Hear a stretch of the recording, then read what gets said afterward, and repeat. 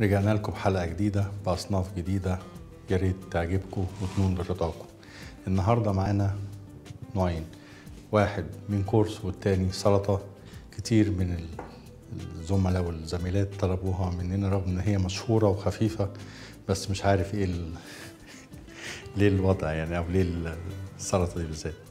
كل الناس بتحبها وهي مشهورة سلطة الكولوسلو بس عايزينها بنفس الطعم اللي بياكلوها في المطاعم التانية. نتمنى إن هي تعجبكم والطبق التاني الرئيسي طبق الكوردون بلو أو التشيكن كوردون بلو. آه، فراخ صدور فراخ محشية.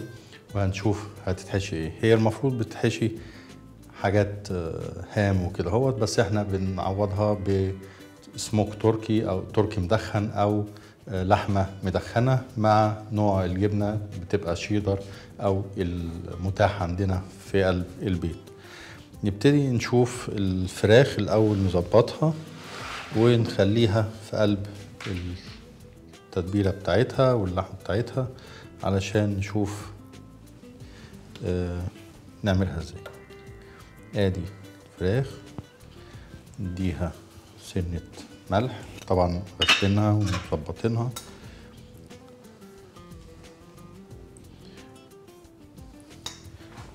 بعد كده أهوت. هنروح. قاسمين الفراخ زي ما بنقسم الساندوتش. اللي دي كده.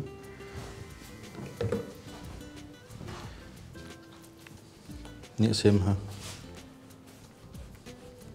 زي ما بنفتح السندوتشات بتاعة الولاد المدرسة بالطريقة ديت. ممكن نفتحها شوية تاني. بتبقى كده اهو. ادي صدر. وناخد الصدر التاني. برضو نفتحه بنفس الطريقة.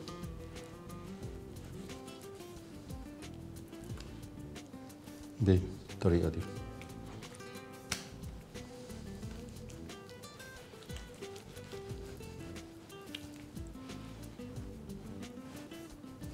كويس. وممكن بقى نرش جوه شوية ملح شوية فلفل ممكن سنة مستردة لو نحب ممكن سنة كاتشب تتبيلة إلى آخره بس هي المفروض ملح وال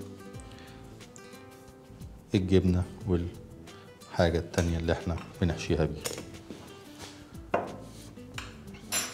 نجيب لحمة نحطها بالطريقة دي. سلايس تاني. الطريقة ديت. نجيب جبنة. بعد كده هوت. نحط الجبنة فيه. نصين برضو بالطريقة دي. ونروح قافلين عليها. آدي صدر نجيب الصدر التاني. ممكن نحشيها جبنة زرقاء ممكن اللي هي البلو تشيز أو الجبنة الريكفورد ممكن بدل اللحم المدخنة نجيب تركي مدخن أو قشطة فراخ. وفي ناس بتحشيها ببسطرمة.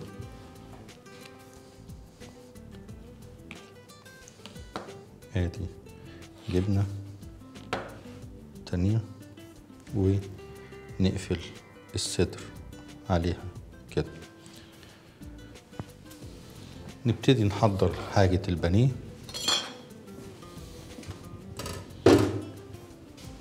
زي ما اتفقنا قبل كده قلنا البانيه ثلاث مراحل. مرحلة أولى الدقيق مرحلة تانية البيض مرحلة تالتة البقسماط أو دي البقسماط العيش.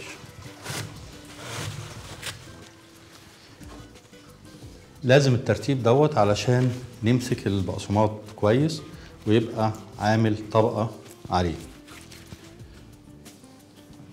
البيضة هنربها أو نقلبها وقلنا قبل كده إن إحنا نعمل لها شوية مية أو شوية لبن مع شوية الملح والفلفل بتوعنا.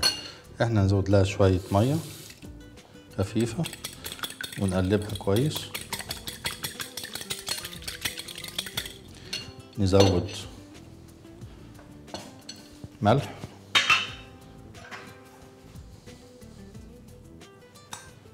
ونزود فلفل.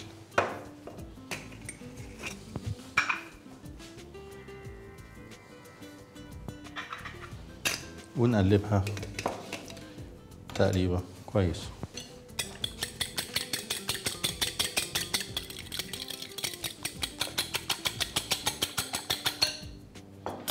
كده إحنا قلبناها.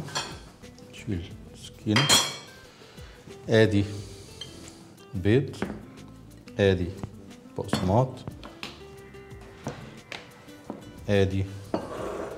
الدقيق ناخد قلنا مرحلة أولى. الدقيق نتبلها كويس عشان هو ده اللي هيخليها تمسك في بعضها.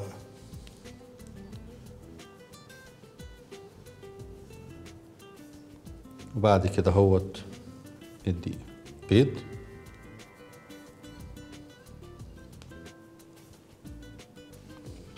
بعد كده هوت ناخدها على البقسماط.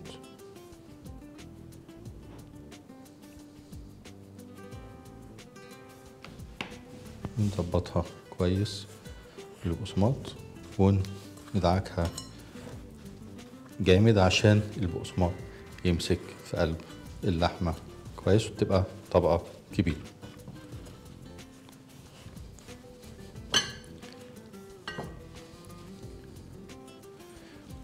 آدي صدر جاهز. نجيب طبق.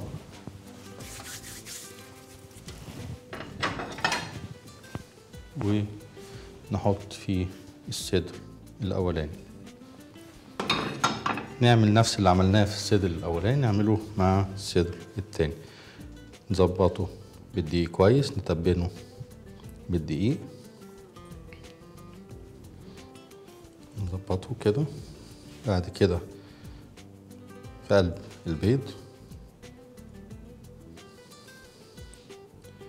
بعد كده في قلب البقسماط.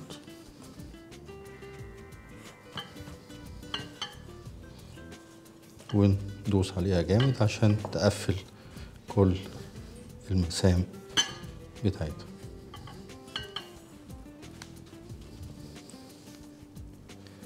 بعد كده هوت نروح حطينا في التلاجة. عشان تمسك. كويس؟ بعد كده نشوف هنعمل إيه. نغسل إيدينا ونكمل شغلنا.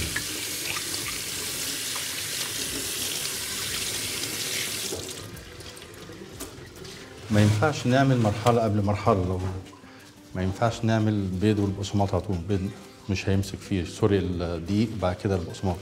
لازم البيض مرحلة في النص هيب- يربط ما بين الاتنين. نظبط مكاننا ونكمل شغلنا.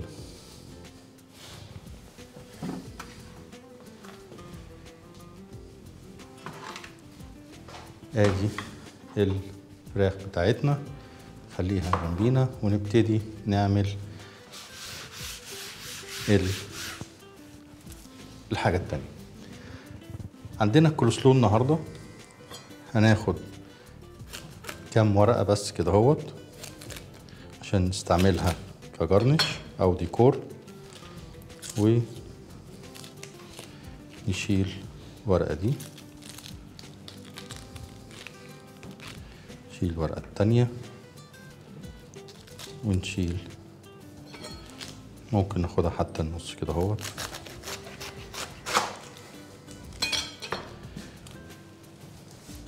ناخد بولة ديت نقطع فيها ونحط فيها الكرنب بتاعنا. ناخد الحتة التخينة ديت عشان مش تطلع كويسة.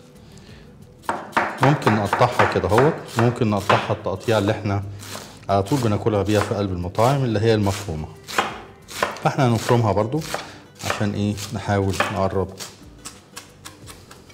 في الطعم. أو التست بتاعها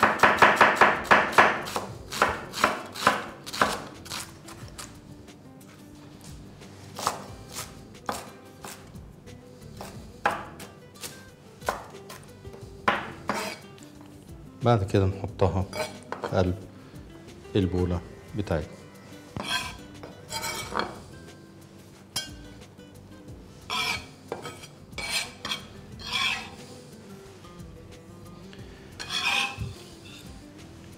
بعد كده نروح حاطين عليها السكر.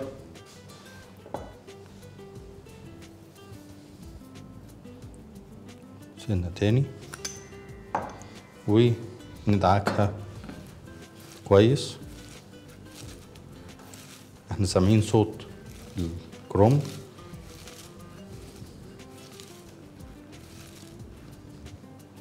ونخليها نص ساعة أو ساعة لغاية لما الكرومب يطرى. ولغاية لما يبتدي الكرومب يطرى. فاصل ونرجع لكم بعد شوية